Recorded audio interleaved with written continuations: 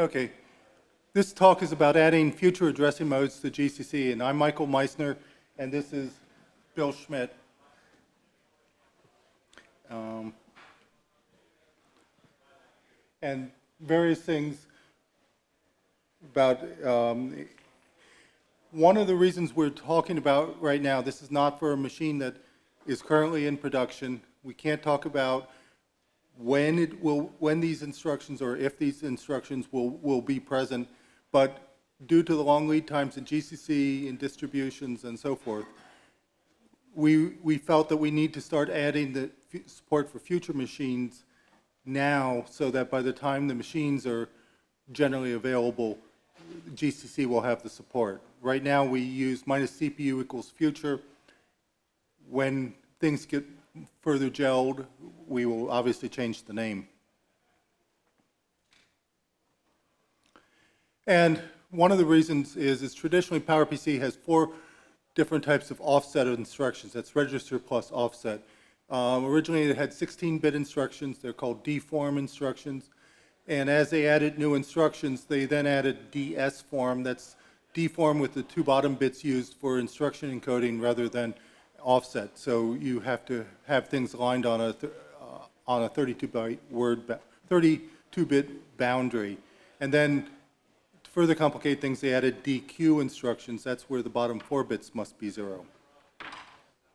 And in addition, the, the D form instructions um, allow for pre-increment, pre-modify, and pre-decrement, the auto stuff. But, but the newer instructions generally do not have those forms. And finally, to add complication, if the base register is zero, constant is used instead of GPR register zero. This is all just the standard history of the PowerPC. In, and as I said, in general, the original instructions load to 32-bit GPRs, load to uh, single precision, double precision to floating point registers were all D form.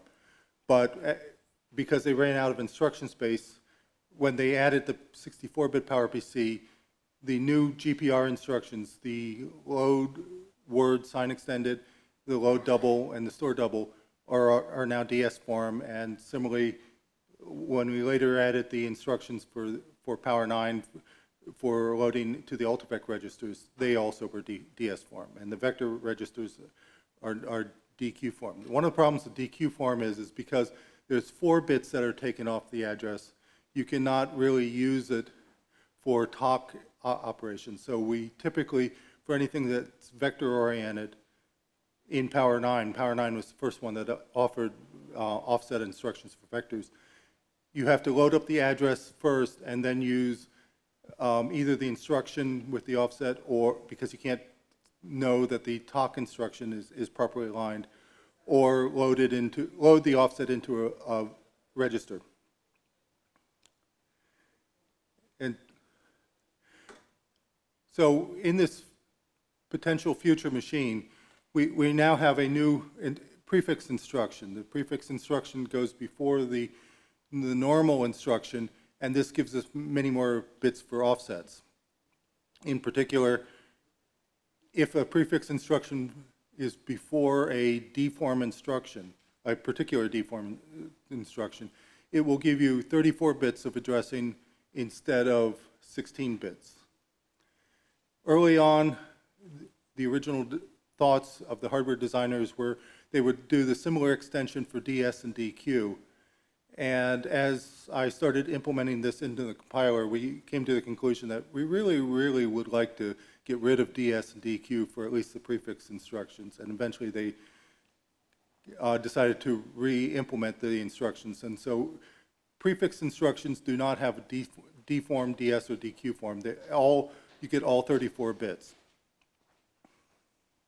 But one, uh, you know, hardware gives things, but it also sometimes takes things away.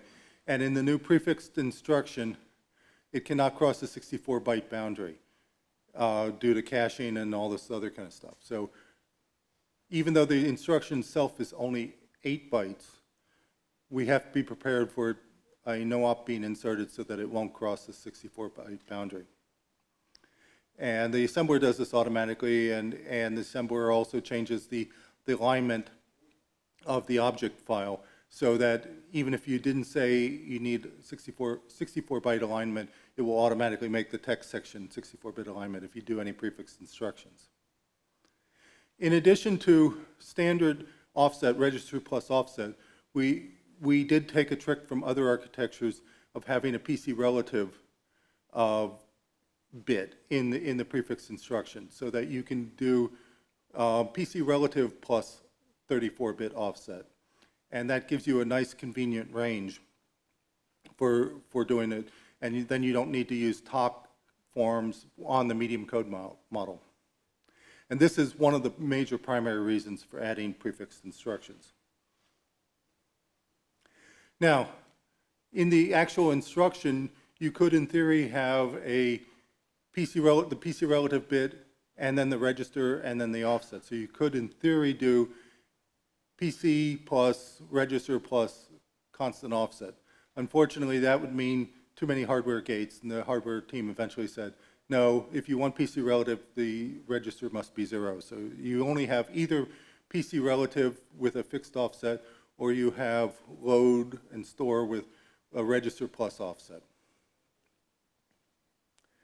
And, you know, because we changed the stuff for DS and DQ, we, what we did was the actual second instruction follows the prefix has a different encoding now for those DS and DQ instructions rather than the traditional instruction, whereas in the D instructions, it's the traditional instruction. And again, the assemblers and the linker are the only ones that really care about this encoding. So, wanted to show um, how we use this. Unlike some other assemblers for other architectures, we chose not to have the assembler be too smart and implement a prefix instruction just by if you set an LD with a large offset or, or an offset that wouldn't fit in a DS format, it would automatically make it into a prefix thing. We force the user of the assembler to put a, an explicit P in front of the instruction. So you have LD uh, for the traditional instruction and PLD for the prefix instruction. And there are various combinations, you know, the prefix instruction has this PC relative bit in addition, so you could specify PLD, load the register, offset 4, register, or offset 100, register 4, and that it's PC relative.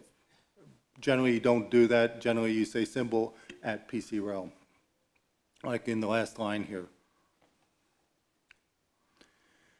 And in addition to the memory instructions, the load and store, one other instruction got extended, and that is the PAD, it is the ADDI, that's the add immediate instruction.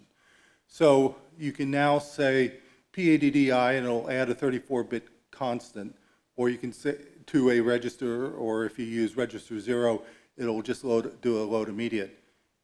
Or um, the PADDI instruction has the PC relative bit, so you can load up a PC relative address by, by doing PADDI register with the, the offset, the PC relative bit set. And like with the load and store, you cannot use a register in that case.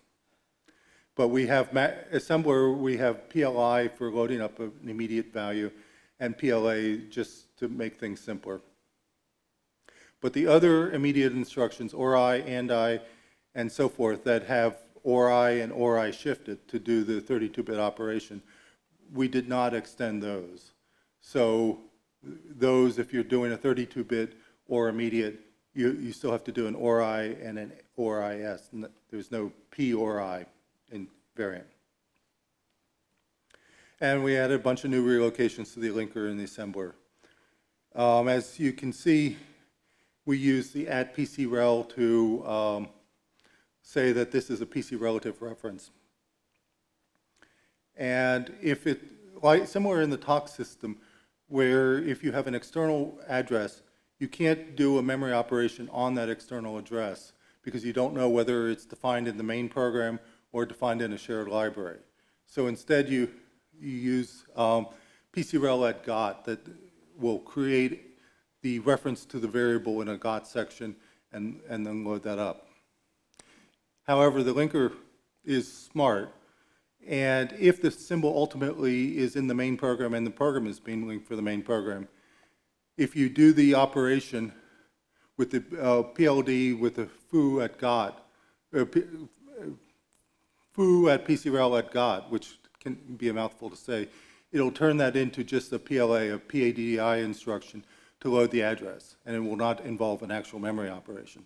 But if the address is in a shared library, such as errno or other variables like that, it has to do like it does in the TOC system, put the address somewhere else, and then do a load of that address from that location, and then put a relocate, a word relocation on that so the dynamic linker can, can put the right address in, in there.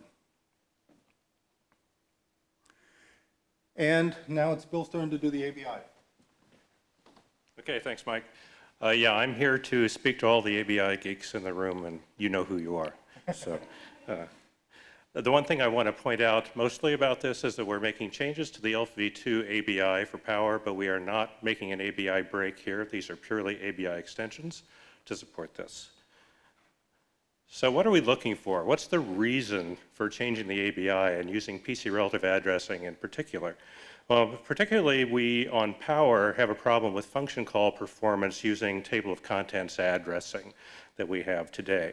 With uh, PC relative addressing, we can reduce the cost, in particular the path length of the function call, by avoiding the save and restore of the register that uh, points to the table of contents uh, pointer. Um, also, if we have those things close together on small functions, sometimes we can have uh, stalls, particularly on some of our older hardware. Uh, we've, we've had problems with, uh, you know, stalls based on the memory store being followed quickly by the memory load. When you have an out-of-order processor, that can cause you some difficulties sometimes. And so uh, this helps us avoid that as well. Uh, the addressing sequences that Mike's been talking to you about, and he'll give you more details on, are going to be uh, at least equal in performance to what we have today, and in some cases will be better. Uh, another advantage is that we get a little bit of uh, register pressure reduction. There is a dedicated register today that's used uh, to point to the table of contents, and uh, that TOC register is now, count, now can be freed up, so we have one additional non-volatile register to use. Right, and in addition, one of the things is, is that it eliminates two instructions at the beginning of the function to save the R2, and also the no op after the call. So it, oftentimes we are seeing that somewhat shorter code. There are, of course, examples where it's the opposite, but usually it is slightly shorter code too. Yep. So uh, the problem that we have, though, is that we can't just immediately switch over from TOC-based addressing to PC relative addressing, because this is Linux, and Linux distributions live a long time. We have a lot of uh, packages out there that were built with TOC addressing, and so even if we have uh, PC relative code with this new future processor, it still has to coexist with the existing TOC-based code. So a large part of what I'm going to talk to you about is how we make sure that uh, we uh, support that stuff and what the changes in the ABI are that are necessary to make that happen. And that needs to be as efficient as possible.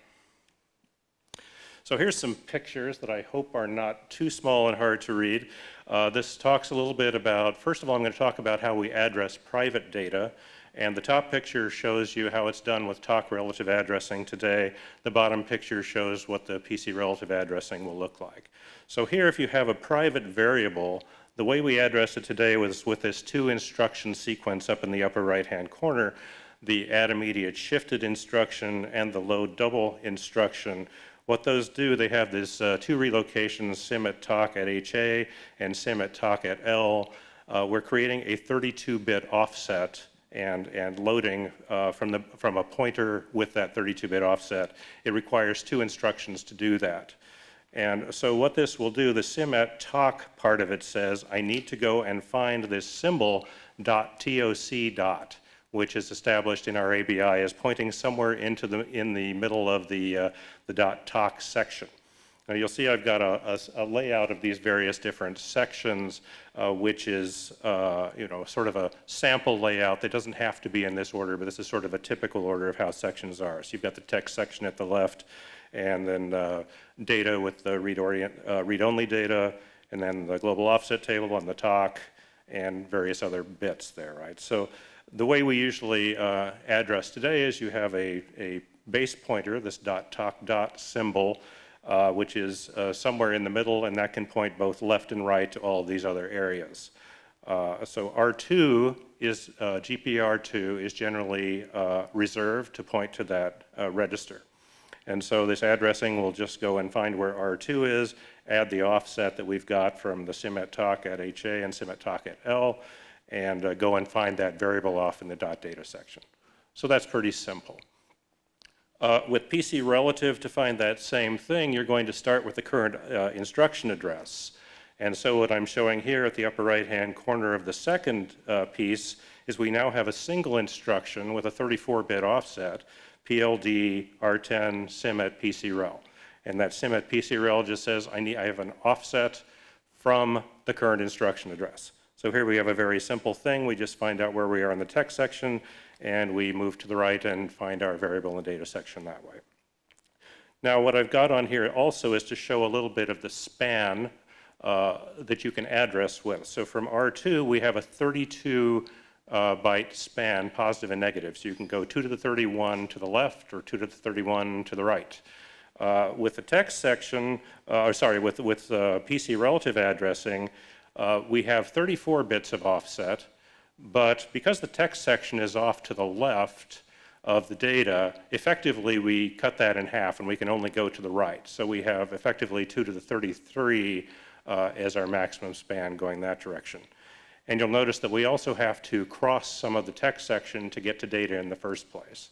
So that, that eats up a little bit of that 2 to the 33 space. With shared data, it's slightly more complicated.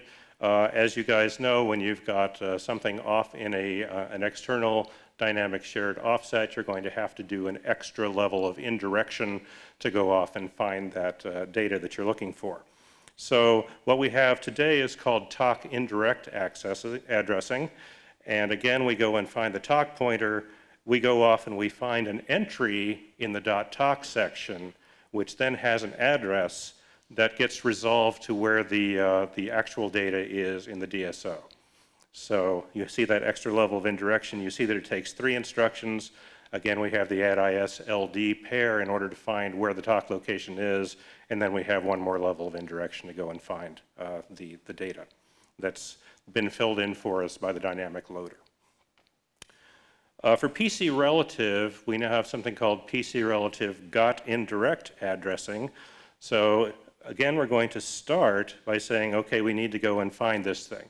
And because this is created by the linker, the linker creates the GOT on PowerPC. So the entry that we're looking for is now in the .got section.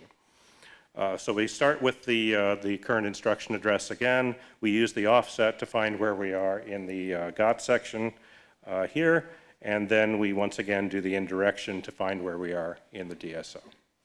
So what you can see here is, is in both of these cases, the instructions, uh, the number of instructions is smaller. In the first case, we had two instructions before, and now we have one instruction. Uh, because the second one is a double word instruction, the text size is the same, but the number of micro-ops for the processor is now one instead of two. Now, previously we had some fusion uh, to handle, you know, the, the uh, previous sequence, so there's not a terrific lot of difference there if fusion kicks in for us, but in this case we will always get it with the PLD, and we don't always get the fusion today with the other sequence. And once again, the same thing applies here. We have two micro-ops instead of three uh, with the shared data sequence. Is that clear?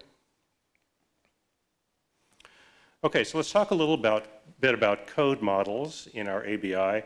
In the ELF v2 ABI, we have three different code models for data addressing and, and function addressing. Uh, the first is the small uh, code model, which uses only a 16-bit address. That's not in use very much these days. Uh, our default is to use the medium code model, which is pretty efficient and gives us a 32-bit address, which is good enough for almost everything. Uh, however, sometimes you can overflow uh, with a 32-bit address. And some of your linker relocations will fail on you, and you have to recompile with the large code model, which gives you a full 64-bit address. Uh, we made the choice with PC relative addressing that we will only use it with the medium code model. We have this 34-bit span. Uh, That gives us roughly equivalent span to the medium code model. It's never exact, but what you have, you know, as we saw, we cut off one of those bits, we get 2 to the 33 going from the uh, text pointer to the data, and then because we're covering some of the text, which could be very large, uh, that could be cut down a little bit. So basically, it's roughly 2 to the 32 bits uh, of data addressability from the base pointer, whether you're using the old model or the new model. So this is pretty close for us. If you happen to go uh, and overflow things with PC relative on the medium code model, the backup strategy is once again to recompile with the large code model, which will use a TOC. So we are not going to get rid of the table of contents pointer for large code model. Okay. So call flow, how do we do things today? Uh, so in ELF v2, all functions have both a local entry point and a global entry point. Um, so, you know, just if you're thinking about this uh, off the cuff, local means is just what you're going to call if you're in the same compilation unit as how you might think about it, and global if you're going, uh, if you're being called uh, from somewhere else. Uh, now, in actuality, what local means is after you've done static linking, then uh, local is within the statically linked object. So that could be your main program or some DSO. So you could have multiple source files linked together and still use uh, local entry points. A global entry point is used when you're called outside of that situation. Uh, the local and global entry points typically will coincide under two circumstances. Uh, first, when there isn't a table of contents pointer required, then you don't need to have a, a global um, uh, entry point at all because uh, there's, all the global entry point does is help you establish the TOC for your, uh, for your function. So if you don't need a TOC, you don't need the global entry point. The other thing that can happen is if you have a static function, so it's not, it can't possibly be called from outside of your current uh, uh, or, or um, your current main program or DSO, then um, you, can, you don't need a global entry point in that case either because you know that your TOC has already been set up by your caller because everybody in the same unit has the same TOC by definition. So um, what do we do with the global entry point? So the global entry point assumes that the address of the function is in register 12. So when, uh, what it will then do is use register 12 to use these two instructions, this add immediate shifted and add immediate here. Uh, it'll go through and say, okay, where is the dot TOC dot symbol that we had on the previous uh, pictures and load that up into register 2. So that's how we get it into register 2 in the first place. Now the local entry point assumes that register 2 has already been set up, so we don't need to worry about it, or that register 2 isn't needed for this particular function. So if you don't need it, you don't need to go through the global entry point. Now when the caller is compiled, it doesn't necessarily know if the call target is going to be statically resolved. If it's in the same compilation unit, it can figure that out itself. But if it doesn't, uh, it has to assume that it's going to go uh, outside of the compilation unit and it's going to possibly get a new TOC pointer for whoever it's calling, and when it comes back, it needs to reestablish its own TOC pointer. So the way we handle that is we, we put a no-op instruction after the call, uh, which is to be used by the linker to fill in with a register uh, restore, a TOC restore instruction that will restore it back to where it was. Okay? So how do we implement this internally? So inside the symbol table entry for each function, we have a uh, field that everybody gets to use in their own way. Each architecture can do what they want with it. It's called ST other. Uh, what we've chosen to do is, is take the top three bits of ST other and use it for this purpose, uh, to describe how the, the local and global entry points exist. So if that value is set to zero, it means that the two uh, entry points coincide, so we don't have an extra global entry point with those uh, TOC establishment. And in that situation, we don't need R12, we don't need R2, and R2 is considered to be preserved by the caller, callee. So the caller will not have to reestablish uh, if it calls this function. It knows that it won't have to reestablish its own TOC. One is like zero except for one thing, and that this is R2 can be clobbered. Okay, so this is a caller save situation, um, and that's very important because that's what we're going to exploit for PC relative here. The remaining values, two through seven, are uh, expanded to say, what's the distance between the beginning of the local entry, the global entry pointer and the beginning of the local entry pointer?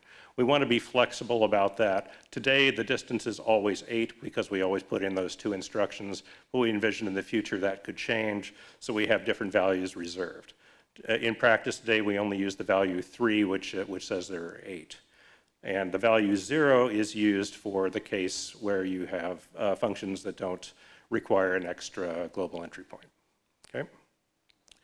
So as I said, value one was, an, was uh, provided in anticipation of having a TOC-free addressing model at some point, and we're at that point now.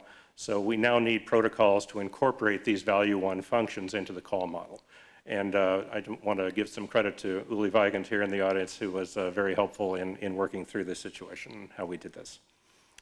So what do we care about with a call? We care about whether it's a local call or an external call. We care about whether or not it uses a TOC, whether its callee uses a TOC, and whether the callee preserves R2 or not. Those are the things that can differ and, and require us to do different things. Anytime you have an external call, it has to go through procedure linkage table stub. That's just normal. You have to do your dynamic symbol resolution. Um, now, when we have a, call who, a caller who knows he doesn't need to restore his TOC, he can add a relocation called notoc onto the call, and uh, that will and omit the no op because he doesn't want the linker to come in and, and put in the R2 save that we talked about. So that's how we tell the linker about that. Uh, one side issue is that uh, with stack unwinding, when you're sometimes putting an R2 uh, restore in there and you're sometimes not, the uh, stack unwinder has to be able to figure that out. So that's, that's already done. That's business as usual, but I kind of want to point that out, that it has to do a little bit of work to figure out whether or not it's restoring R2 at each point as it's unwinding the stack. All right, very quickly, uh, I'll go through some of the, the call protocols that we have here. Um, this first page, the first two here are just kind of the standard things that we've had all along. Uh, if you've got an external call, you're going to need to, the, and your caller is the TOC, and your callee is anything, whether it could be a TOC or a PC relative. Uh, the first thing that you had noticed here is that you have to have the no-op here, because since the caller needs a TOC, he needs to make sure that his uh, TOC is restored after this external call. The job of the PLT stub is to resolve the dynamic symbol, save the R2 value for the caller in the caller stack, and set up R12 with the function address. And then the callee uh, will use R12 to set up R2. And I have in, in red if needed, because now if the callee is a PC relative function, it doesn't need R2, so it doesn't have to set up R2 anymore. So that's the case where we don't need a global entry point in that case, okay, a separate global entry point.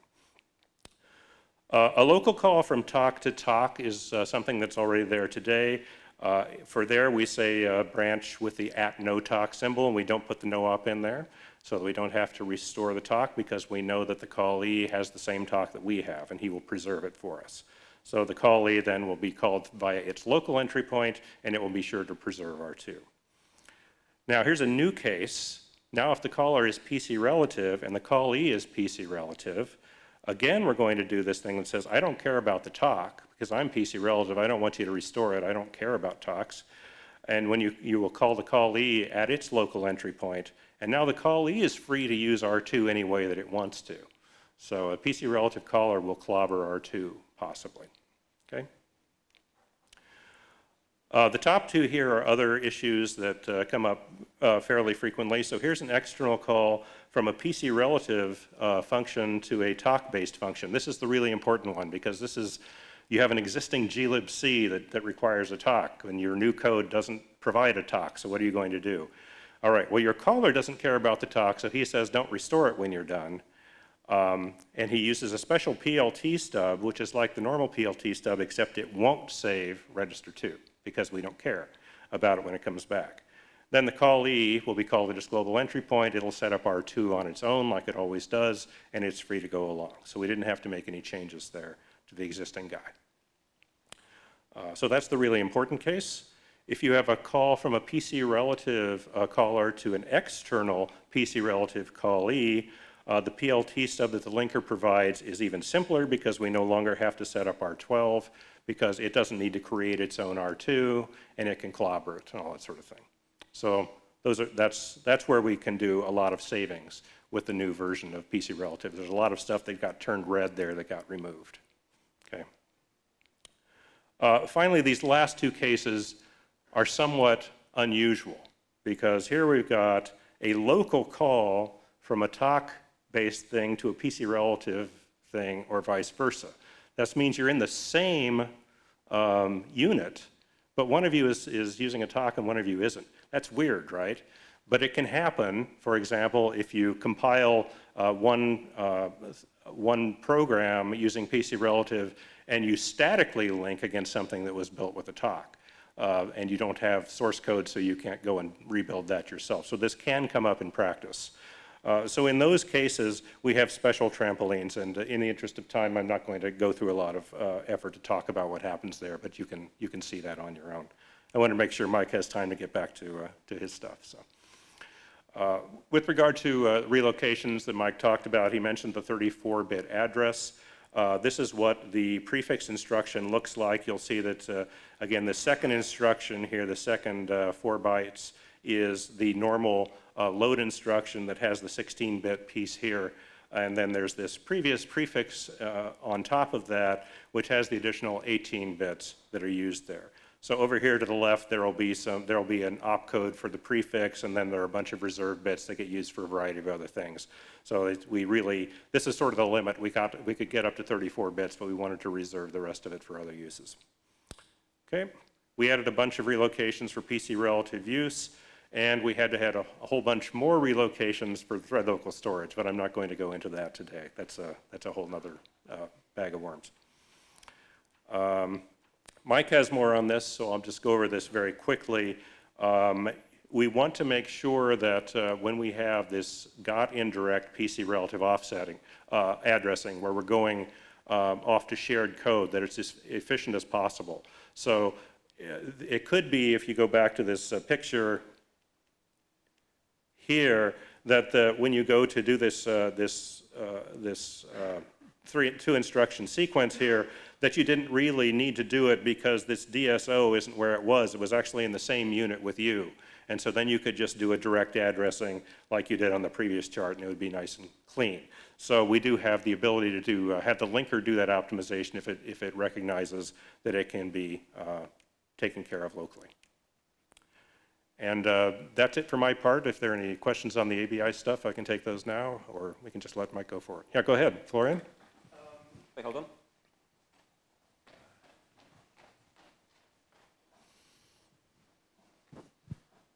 Does the link API change if I rebuild a library with uh, PC relative addressing, in the sense that uh, my uh, the client code will use a different call sequence because the link editor performs different relaxations?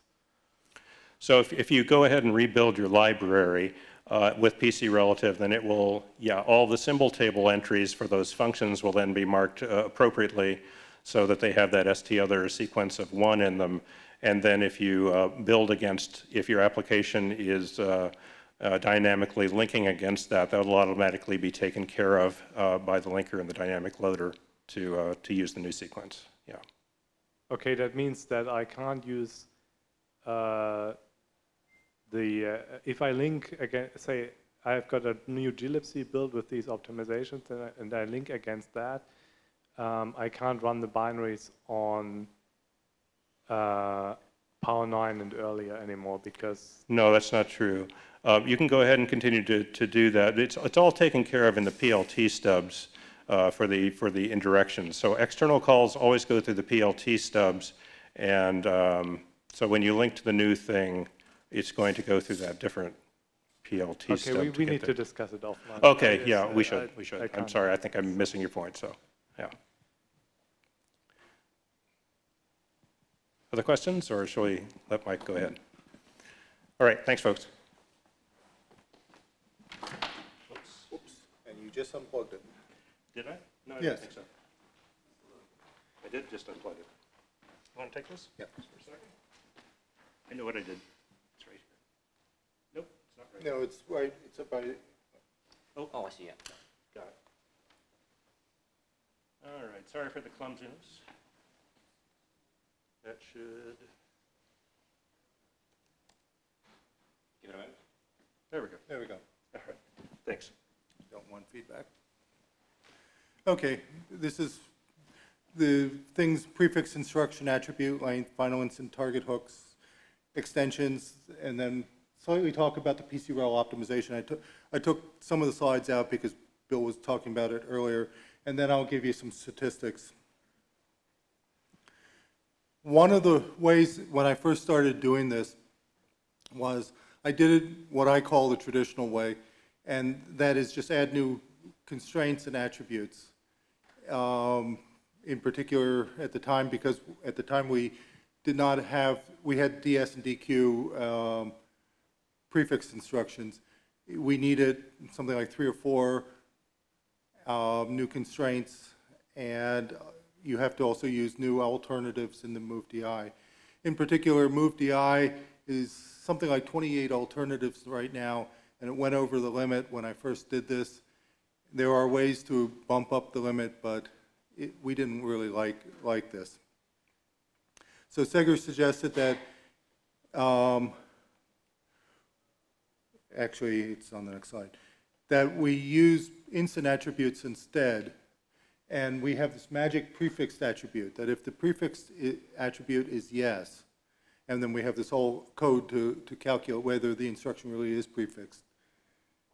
Um, It, the length attribute then uses that prefix and says that the length is 12 instead of 4. And there's two alter, two other things, prefix length and pre- non-prefix length, that just makes it simpler to implement the length uh, um, attribute. Um, As, as I said before, um, when you have, the, even though the prefix instruction is eight, you really have to tell the compiler it's 12 because of the implicit no-op. And doing this, there's a lot less implementation in terms of the actual move DI and so forth. A lot of the changes that we did, in fact, in move DI and, and so forth, well, move DI and, and SD, move SDI are special because they can also load up larger constants. But besides that, most of the changes were to get the thing, thing to use the star for the length so that it would automatically use the prefixed or non-prefixed um, length rather than um, hardwiring for 8 or 12 or, or whatever.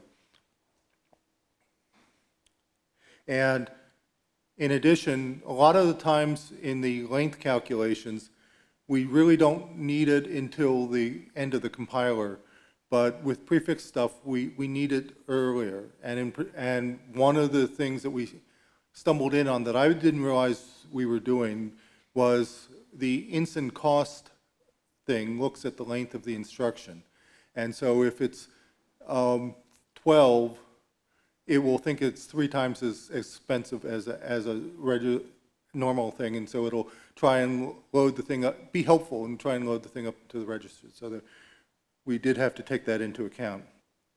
But the thing is, is that the length is sometimes done more earlier, and so things like um, TF mode, that's the long double, that uses two IBM doubles, when you actually use it, it is already split. By the time you actually do get to final, it is split. But when it's called for the length operation in, in the costing and all, it's done much earlier. And as I said, 12 bytes rather than 4 bytes, and the assembler does the appropriate magic. Now, right now, we, we just do it with 12 bytes, but if somebody is really determined, uh, they could go through and figure out exactly what the attributes are and how the the alignment is and, and so forth. That, that is a lot of work, and it also makes sure, you have to make sure that all the other places in the compiler set the length correctly. Um, Just before this uh, meeting, I, I built spec 2017, setting the length to eight. And it turned out that there are eight, uh, six benchmarks in spec 2017 and two benchmarks in spec 2006. You know, not necessarily spec is the be-all and end-all, but it's just large pieces of code that's useful to, to run through the compiler. But there are six benchmarks because, the problem is, is that the conditional branch instruction is short. And so if the length, if the compiler thinks the length is longer, it has to do a, a branch around the conditional branch, uh, a conditional branch around an unconditional branch, so it can jump to the larger location.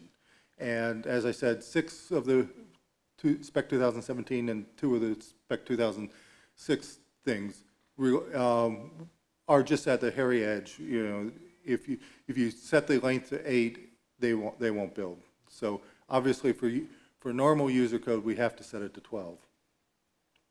And, you know, as I mentioned before, the assembler does not automatically go to a prefix instruction. You have to tell it that this is a prefix instruction. You know, there pros and cons both ways, uh, but this way, particularly with alignments and all that kind of stuff, we felt it was safer that you be explicit when you do this. Now, how, whether users will work, this will work if people have loads and stores in assembly code, um, you know, ASM code in GCC, I don't know. We, we may have to cross that bridge when we do it, or just tell people, don't do a load in the ASM code, do, do it yourself, or don't, don't do the prefix, you know. Be, be smarter. And for the prefix instructions, I'm talking here, all, the form is using a leading P in front of the instruction. There might be prefix instructions that that won't hold for, but we in the compiler team would prefer that all prefix instructions begin with a P. The way we do this is we use a hook in final scan insn that this is the, used in final, that the last time it looks at the it- it calls this hook. And the hook then says, are you a prefixed instruction?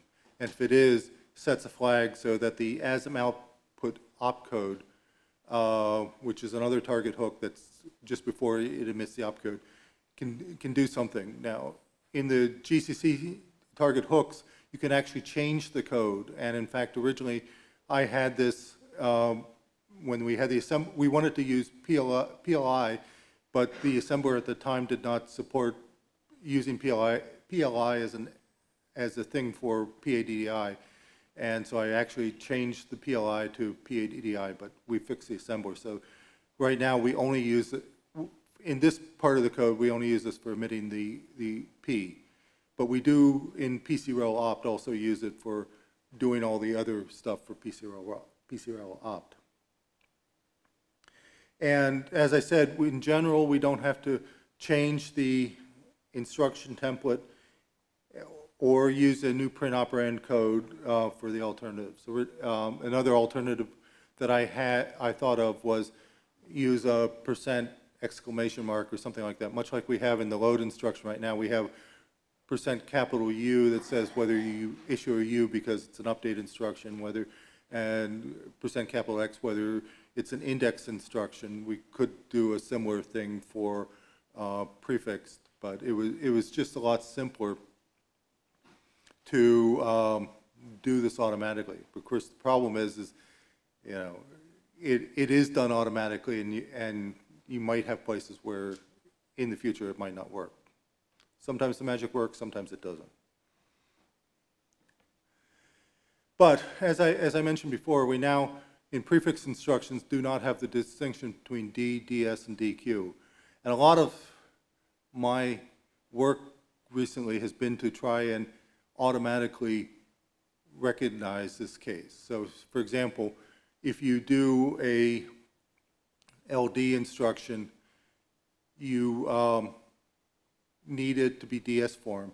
And if you actually have an odd offset, it has to load up the offset and use an indexed operation. But if you did that, that load operation to a floating point, a traditional floating point register, that's a D form instruction, so you don't have to do the uh, thing.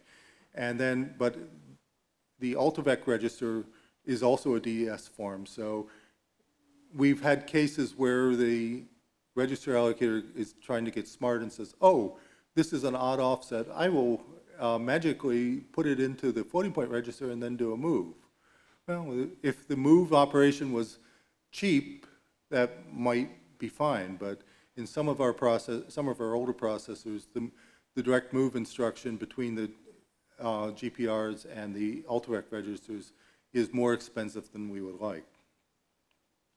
So the compiler does now to try, try to figure out, and as I said, this is one of the things that I've gone over and over a few times in different implementations, to automatically change from um, using the traditional instruction, so even if the offset is 16 bits, but because, if the compiler uh, thinks that it might be a, used in a DS context or a DQ context, it will, it will automatically generate a prefix instruction.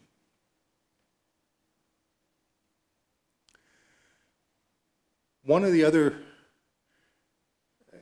extensions was, um, we do have load quad and store quad in the GPR registers. That loads up uh, two registers and store, qua- uh, and so forth, and they have some restrictions. But those instructions were defined before we started doing little endian, and they load the registers in the wrong order. So what we do is in little endian, we just don't generate those instructions. Now, f- uh, there is a atomic version of those instructions, only indexed form, and we do generate that, but we have to actually swap the registers uh, because that's the only atomic instruction we have for 128 bits. The hardware now does um, do PLQ and PStoreQ on a little endian system. It'll put them in the right registers. So we can, in theory, use it. Right now, we have not. I, I did have some initial patches to do this. It broke things, and so I, I took it out to, to look at other things, and sometime later, we may, may go back to, to fixing it. But um, this is one of the advantages of having the hardware company hire GCC developers, in theory, because, you know, if, if you start the time early enough, you might be able to catch things like whether DS and DQ that make, th- make things simpler for the compiler. You know, it's always a push and shove in terms of what gets added and what doesn't get added. Um, Bill talked about PCRel opt a little bit, and this is, um, this is a rather tricky optimization, and it, it, it can potentially break. Uh, the- But the idea is, is if you know this is an external symbol, and um, you want to reference it, but there's only one reference, the compiler can change this into this magic PCRel opt optimization. But the, and so I, I added a pass to, to do, the- to look in the, in each basic block to see if there's a load address and, and then the use, and the use dies with it and it has all the proper stuff. But um, right now, to be, for safety's sake, I have it as, as the pass before final. And Segher and I have been having some discussions about, yeah, this still could break if somebody else adds another pass before final or something else. And so it's probably one of the things I need to rethink about. But in order to use this optimization, you know, because again, there can only be one load address and one use of the register. Um, it- I only looked in basic blocks. I did not try to optimize loading the address in one basic block and then in another basic block, you, having the use. For example, you know, doing the load before an if then else construct and then doing the, the store load using that register. Between the load, if you're doing a load operation between the load of the pointer of the address and the secondary load, there must be no re- references to the register being loaded with the second, second load. In other words, you have to assume that the lifetime of the thing being loaded is at the first instruction, not the second instruction. Um, Can you just turn that off? And um, similarly for store, the um, store operation must be, uh, the value must be live in the register before doing this, the store, uh, live at the register at the time you do the load address, and, and kept live until you do, you do the store. And um, one of the keys is, is, is peepholes don't, aren't as useful for this because it does not have to be adjacent instructions. With an adjacent instruction, you know, if, if, if there, if you did the load address and you immediately used it, it would be simpler to use than a peephole, but as I said, peepholes don't do this. And the optimization actually works even if things are separate. And I have statistic, statistics later to say whether or not, you know, that it does actually help with things being separate. And here are some statistics that I gathered. Now, as Aaron pointed out before this meeting, it would have been helpful to have also statistics for the TOC stuff on the same benchmark, but there, you know, it's already too, too much for people to, to do, do it. But, you know, the idea is in spec 2017, with the current compiler and, and so forth, we, we do like 166,000 PC relative loads and 41,000 stores. And 46,000 times we did a load immediate of an address, of a number. And, but the big thing was, is the 311,000 times we did the load of an address for various reasons. Switch table, um, calling a function with the address of a static variable, um, using it in an indexed operation and so forth. I, I do track that, one of the things that surprised me in this was we have a large number of stores with numeric offsets that are more than 16 bits. This is um, typically, you know, a large offset. And I tracked it down in some, in some of the cases. What it is, is um, a lot of the Fortran benchmarks just have large stack frames. So we are now able to compile code that does have large stack frames, more than 65K, with only using one instruction to access the stack variables instead of having to do two or three instructions. As I mentioned before about the DS and DQ, we do have a few cases where we had odd offsets that the, previously the compiler had to do the load immediate and then use an indexed form. But more to the point, with the DQ instructions loading up the vector, we had almost 60,000 cases. And there, the problem was, is you're oftentimes loading up something that's TOC-based or now PC relative, and you just could not guarantee that you had double word alignment between both the TOC entry and the instruction being loaded up. And that, now, with the, with the um, prefix instruction, we can. And, you know, I was just talking about the PCREL optimization, and uh, in spec, we get about 100,000 places where the PCREL op fires.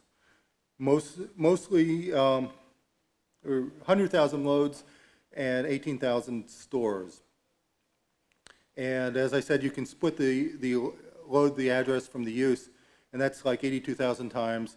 And, um, but the places where it's adjacent, is 36, yes. Oh, five, five minutes. Oh, five minutes, okay. And um, I had some other slides about vector pairs. I covered them more in the register allocation. But one of the other things is we are thinking about adding vector pairs that will load up two vectors at the same time, and that causes a lot of problems with register allocation. So any other questions?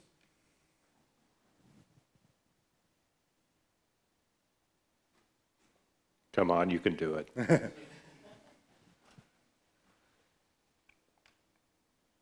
Yes?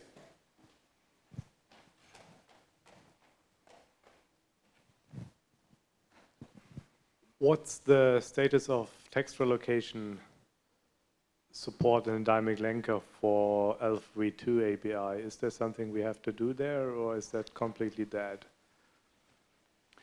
So uh, maybe I'll give Tulio my mic.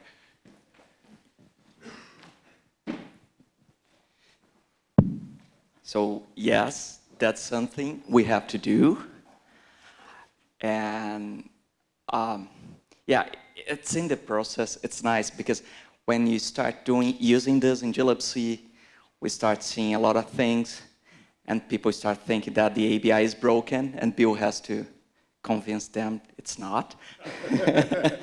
and uh, yeah, that, that's the current status. We're finding a lot of bugs. And yeah, that's what we are doing now. Okay, so there's still text relocation support for L32. I wasn't aware of that. Interesting. Yeah. Yeah, to, to some extent, that's still a work in progress, everything here, so. Uh... Uh, can, you can you explain what this is about? I'm not sure I understand what you're talking about. Uh, what specifically? What Florian was asking about, what, If, if it's necessary to implement um, um, something in the loader to, to support uh, this. and, support what? Um, um, PC relative um, relocations dynamically.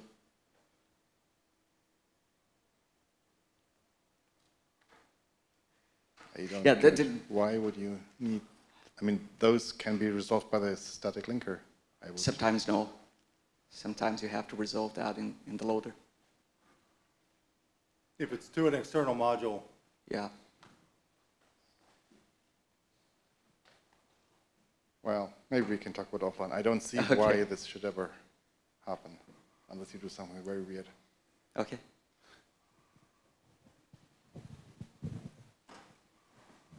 I think, you know, it's fair to say that we don't necessarily have the complete answer to that yet because we're still in the process of uh, continuing our implementation and making sure there aren't bugs in it. So it could be that we're just seeing some, uh, some bugs in, in how things are created in the compiler or in the static linker that are showing up and looking like they're dynamic linker issues. But my suspicion is that they're not, but we'll see.